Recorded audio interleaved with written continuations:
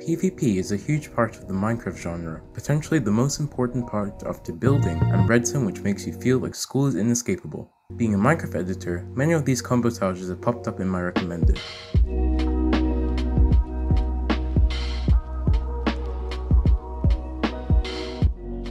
I've always wanted to make one for myself, but PvP's never been my strong point. You might have heard of Intel Edits. He's been making lots of tutorials for nearly 3 years now, so recently I decided to test 3 tutorials in particular, see if they actually work and if I could use them to make a PvP edit of my own.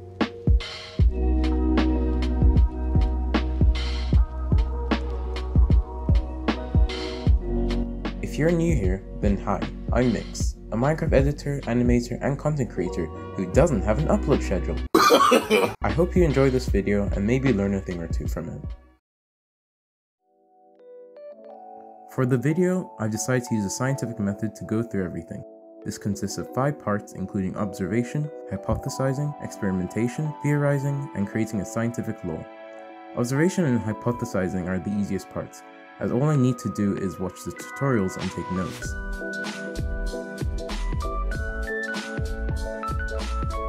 As I want to practice getting long combos, I focus on these three videos that Intel did.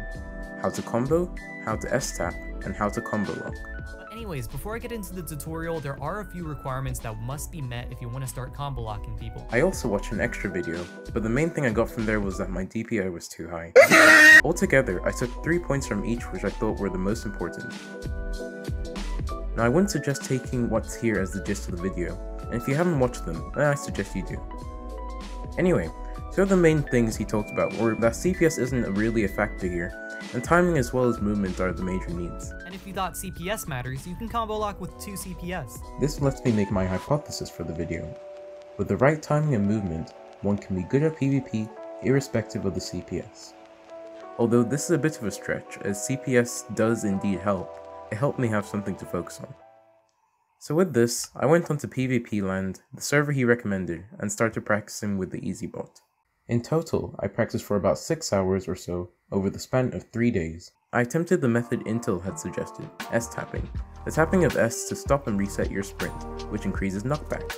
Again, if you want a more in-depth explanation, his tutorial is all open.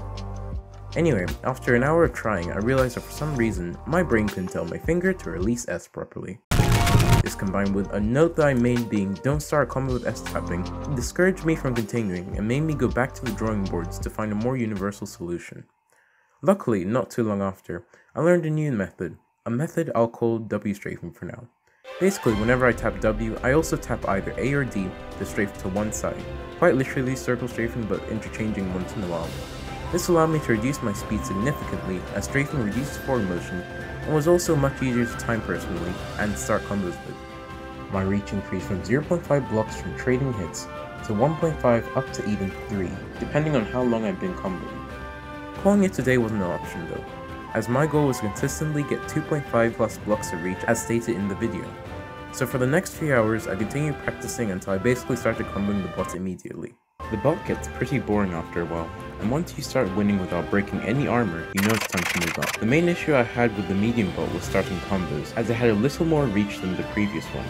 This is where CPS would come in handy, leading to a higher chance of you getting the first hit. I ended up finding a way around it, by strafing a bit before attacking, countlessly missing my hits only to realize that I should probably focus on my monitor, and also reducing the length of time that I W and A tap. Here's a good example of it in action.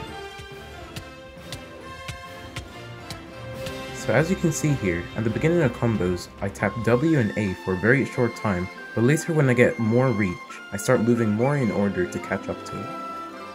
Eventually a few days later, I got pretty good at comboing once I got the chance, and decided to finally test myself on a real player. Wait, sorry. Anyway, after the session of torture, I felt like I'd gotten enough data to identify what I noticed and come up with a reasonable conclusion. So in a nutshell, the video most definitely did help me improve my PvP. I started noticing it was much easier to combo people both with and without speed and even on Hypixel. There were however a few things I noticed and wanted to point out. CPS, although not necessary, is very useful to start combos, and thus combo lock. Strafing helps significantly to start combos and sustain them if you're not the best at timing, and also stops you from going through players on the first hit. However, you can also get comboed if you strafe too much. Finally, controlling the lengths of your W or S taps is key if you want to hold the other person in a combo, or prevent yourself from getting comboed. So it's not necessarily only timing, but also judgment skills. Now in order to make this theory a law, I need the help from you guys.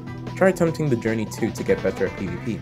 Once enough people have and agree or come up with another theory, then generally it will be known as a law.